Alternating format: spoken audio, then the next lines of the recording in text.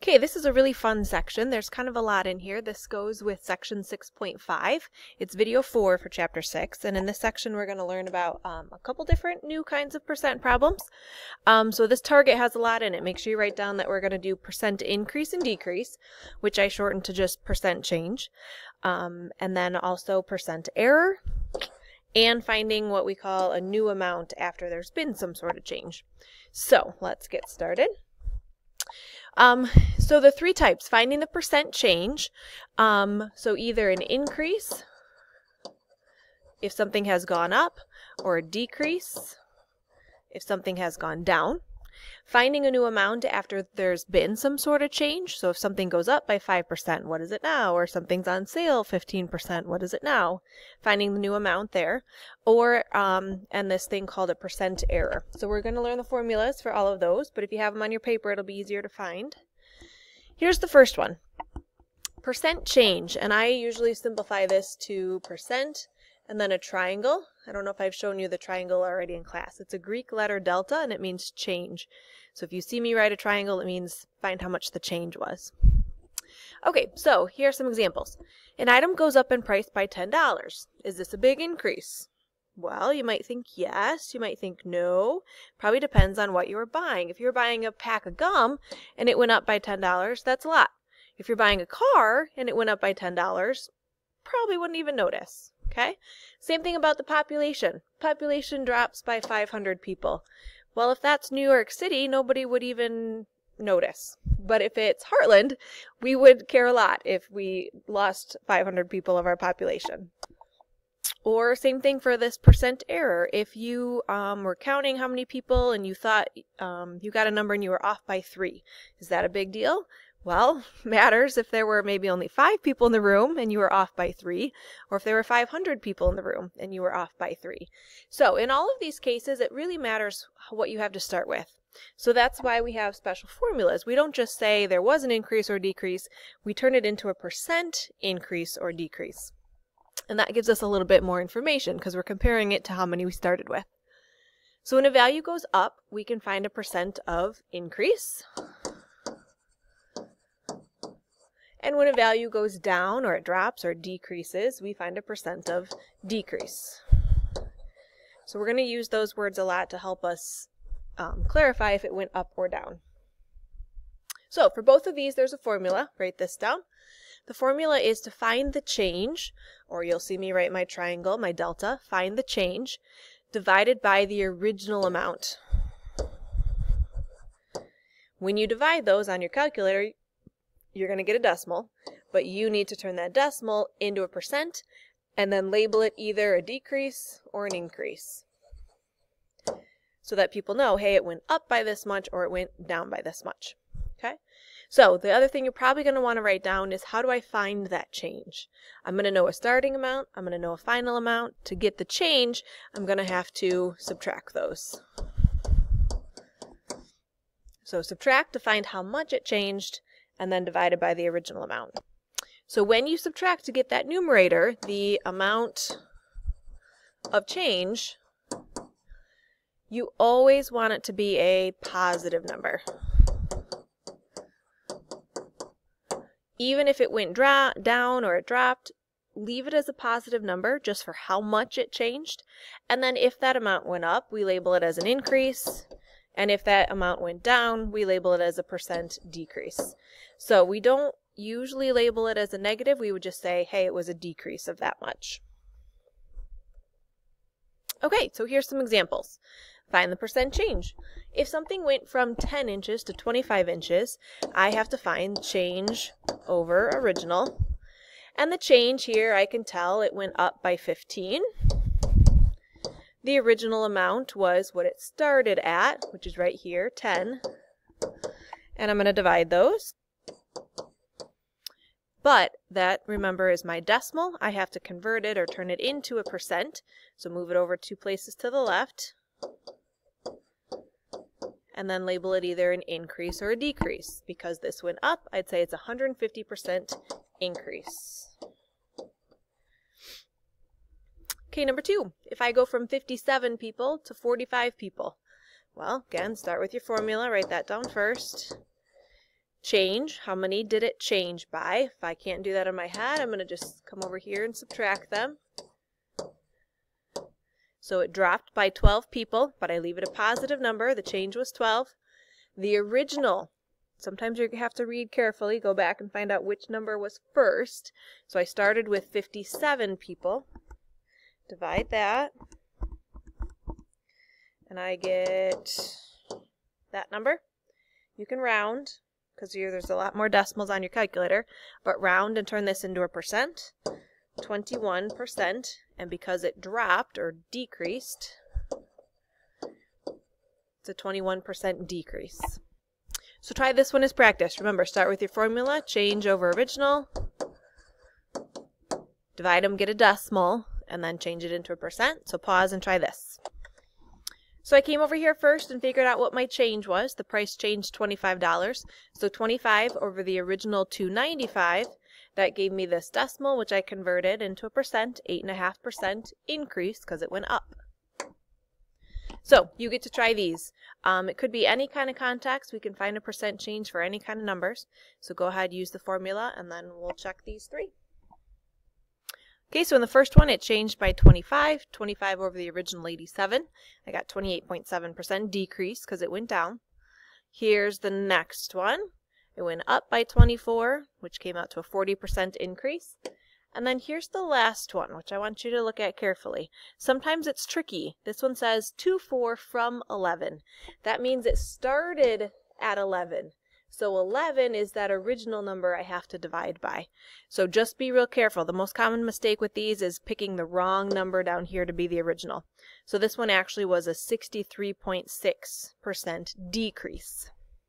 Okay, this is the second type of problem, finding the new amount. Um, so there's two steps here. You're going to find the part. Remember, A was the part either in the proportion or in the equation from either section 6.3 or 6.4. Um, you can use either one of those to find A, the part, and then you're either going to add or subtract it to the original amount. So it's either going to go up by that much or down by that much. So let's look at a couple examples. Bob was making $875 per week, then he got an 8% pay raise. So we can ask two questions from this. How much was the raise? Well, this is just kind of step one, just finding, okay, how much was that 8%? What's the part that he got as a raise? So I can use the proportion or equation. Let's do the proportion here and equation in the next example. So A over W equals P over 100. If I read it again, I know he was making 875. That's his whole to begin with. Um, he got an 8% pay raise, so I could find the 8% here.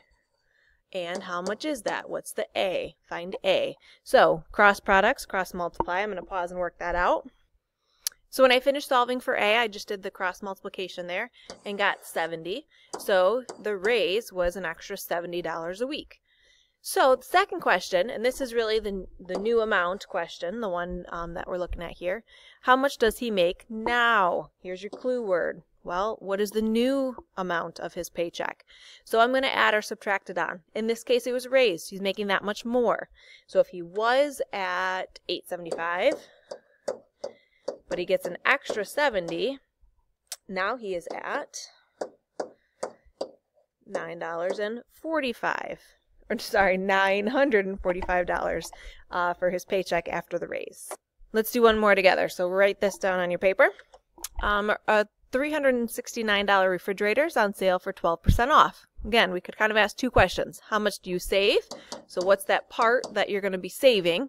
So in this one, I'll use the equation since we did the um, the proportion last time. Um, that's not right. So there's my equation. Remember, I have to put the percent in as a decimal. So I'll write 0.12. The whole is the original price that it was. And I'm going to solve for A. So I get 4428. This would be how much he saves or the amount um, of the discount, right? The amount that they take off the price. But New price. What is the new price of that refrigerator? Well, if it was 369 and I get to take off 44.28, let's see what it costs now. I'm going to subtract it because it's a discount there, so I come up with 324.72 is the new price. So there's two examples for you to find the new amount. Remember, find A first, and then either add or subtract it from the original. If it's going up, you'd add it. If it's going down, you'd subtract it to get the new price. So pause and try these. Okay, in the first one, I found the part here, and I found that the um, the 205% was actually an increase of $2.01. So to get the new price, I had to add it to what it started at, plus the um, increase, which was the 201, and it comes out to 299 for my new price. And then for the second one, um, ah, there we go. So I'm cutting back by 35%. So I had to find how much that 35% was. And I got that to be 595. And since I'm decreasing it or cutting it back, I subtracted it from what I used to eat. And it looks like now I eat 11.05 pieces each day now. So that brings us to our last um, topic in this section, which is called percent error. So if you are making a guess or a prediction and you're off or you're wrong, you can calculate how much you were off by, um, or what we call the percent error using this formula. So it's how much you were off by divided by the actual or the correct answer. Again, that's going to give you a decimal. You turn it into a percent and then label it as a percent error. So let's look at a couple examples. Okay, in this one, you predict that there are 167 fish in Mr. J's tank. If you're within 5%, he'll let you keep one. So we've got to see if we're within that 5% error. Really, the actual number is 180 fish. Okay, so let's see how close we were. Remember, the formula is how much you were off divided by the actual. So let's calculate how much we were off by first. If I just come over to the side and do the math, it looks like I was off by 13 fish. So if I put that in, 13 fish, the correct number was 180. Let me divide that on my calculator to get my decimal. 0.072, which I've got to turn into a percent, so 7.2% off. That is not within the 5%. I was off by more than 5%. I was off by 7%. So I do not get to keep one. What if I had guessed 188? Let's check that. Well, now I was only off by 8. Still, there are 180. Do that math. I get this. So here I would have only been off by 4.4%, yes, I would have been close enough on my guess that he would let me keep one. Okay, last example together on percent error. Okay, so my husband is a packaging engineer. He designs um, boxes and packaging, and he has to be really precise in his designs.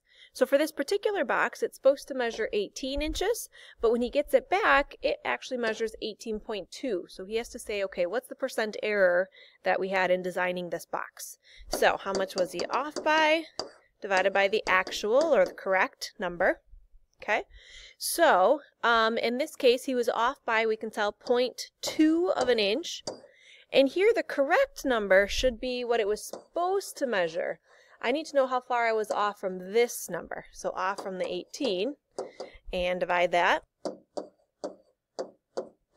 So I get this number, which is really tiny, and I still have to turn that into a percent though.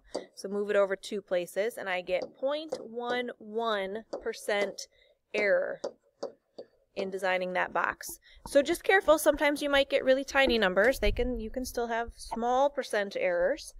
Um, so that was how much he was off by on that design. Okay, there are three here for you to try. Um, so set it up, find the percent error for each one, pause, and then check. Okay, I've showed the work for each one. Remember to start with the formula first. Find your how much you were off by divided by the correct or the actual number, and then turn it into a percent and label it error. So 15% error, um, and then check these two.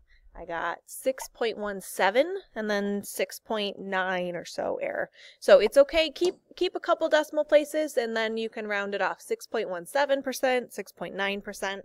Okay? Thanks.